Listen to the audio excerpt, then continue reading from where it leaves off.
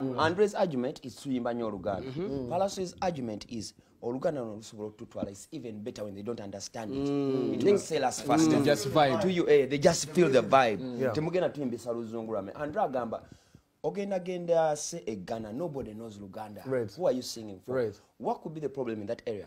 I think one of the issues, according to me, which is something I've done, Kati, was- the things I've been releasing lately, I try to make them sound sonically good.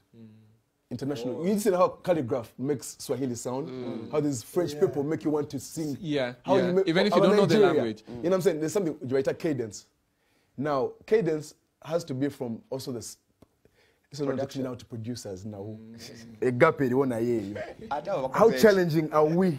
Because I mean, this thing is a full circle. kiraba. wanda alabika abadde n'ebintu ku mutima ayagala byogera for a long time But I lying? Try to I'm work a out. producer. but they're not the point is isi bagamba nti banige nigeria ekyabayisaawo nti bagamba nti for them they, they, they have big numbers but again nane tulira mu stats ethiopia balina 150 million people. Why are they where are they? Yes. where are they where are Yes. the Ethiopia artists? as Right. 150 million people.